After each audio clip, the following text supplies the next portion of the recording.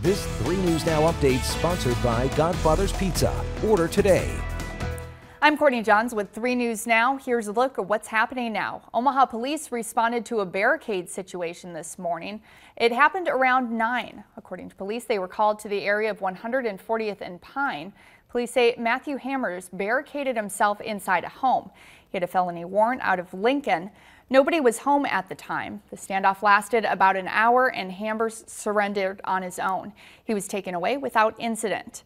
And the Holiday Lights Festival is moving this year. Due to construction at the Gene Leahy Mall, this year's lights will shine from the old market and surrounding areas. This is the festival's 20th year. It will run through mid-November through New Year's Eve.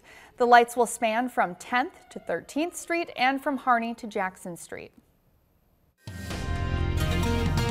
And on 3 News Now, meteorologist Mark Stitz. It's going to be hot and muggy out there through the rest of the day as temperatures climb to near 87 degrees with a mix of sun and clouds. While most of us will keep it dry, we could see a couple isolated storms late this afternoon into the evening. The problem is what little severe storm we do see could be severe some large hail and damaging winds. But we quickly dry things out overnight. Lows near 66 degrees for your Wednesday morning. And then Wednesday afternoon, we keep it very warm for you. Highs near 87 and mostly sunny skies. Thursday, just a touch cooler, dropping down to about 83 for the afternoon. And Friday, closer to 80. And as we go into the weekend, we'll continue to dodge just a couple isolated showers or storms each day day, but again, most of us keeping it dry every single day.